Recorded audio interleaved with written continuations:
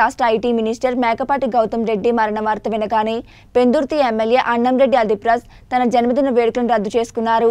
రాష్ట్ర మంత్రి గౌతమ్ రెడ్డి అకాల మరణం తనను ఎంతో కలిచివేసిందని మీడియా ముఖంగా తెలిపారు.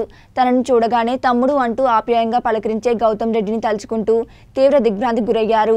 మంత్రి గౌతమ్ రెడ్డిని తలుచుకుంటూ రెండు నిమిషాల పాటు మౌనం పాటించి సంతాపం తెలిపారు. ఈరోజు నేను అనేక సందర్భాల్లో చెప్పాను. ఈ స్థాయిలో ఒక ఎమ్మెల్యేగా నేను నిలబడ్డాను అంటే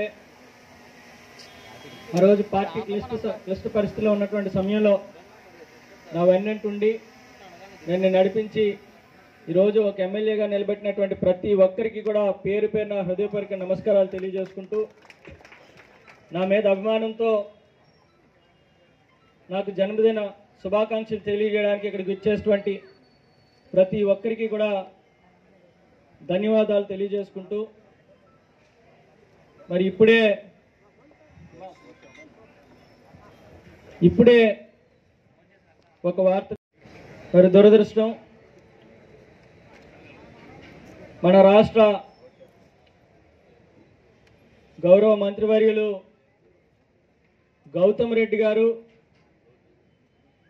ఇప్పుడే అనారోగ్యంతో హఠాత్ మరణం చెందారు అని చెప్పి ఇప్పుడే వార్త అందింది.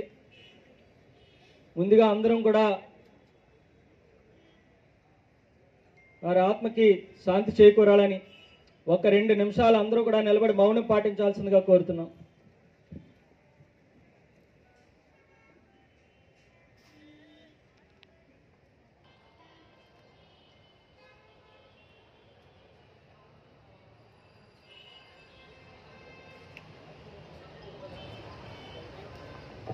అయితే చాలా ఎక్కువ అనుబంధం గౌతమ్ రెడ్డి గారితో ఉంది. ఎందుకంటే నేను సమన్వయకర్తగా ఉన్నప్పటి నుంచి కూడా ఈరోజు ఆయన మంత్రి అయినప్పటికీ కూడా ఎంత మంచి స్థానంలో ఉన్నప్పటికీ నేను కనబడగానే తమ్ముడు అని చెప్పి దగ్గరికి పిలిచి నన్ను హత్తుకునేటువంటి అనుబంధం గౌతమ్ రెడ్డి గారికి నాకు కూడా ఉంది. మరి ఆయన ఈ విధంగా మరణం చెందారని తెలిసినటువంటి వ్యా- వార్త నిజంగా మనసుని ఎంతగానో కలిచివేసింది. కాబట్టి ఇక్కడతో ఈ పుట్టినరోజు వేడుకలను కూడా ఇంకా ఆపాలి అని చెప్పి మరి పెద్దలందరూ సలహాల మేరకు మరి వాళ్ళ అభిప్రాయంతో వాళ్ళ అభిప్రాయం కూడా తీసుకొని ఈ జన్మదిన వేడుకల్ని ఈ నిమిషంతోనే ఆపుతున్నాం. ఒక గౌరవ మంత్రివర్యులు మన పార్టీకి సంబంధించినటువంటి మన ప్రభుత్వంలో కీలక పాత్ర వహిస్తున్నటువంటి ఆయన చనిపోవడం నిజంగా- నిజంగా చాలా దురదృష్టకరం. మరి నా మీద అభిమానంతో ఇక్కడికి విచ్చేటువంటి ప్రతి ఒక్కరికి కూడా హృదయపూర్వకమైనటువంటి ధన్యవాదాలు.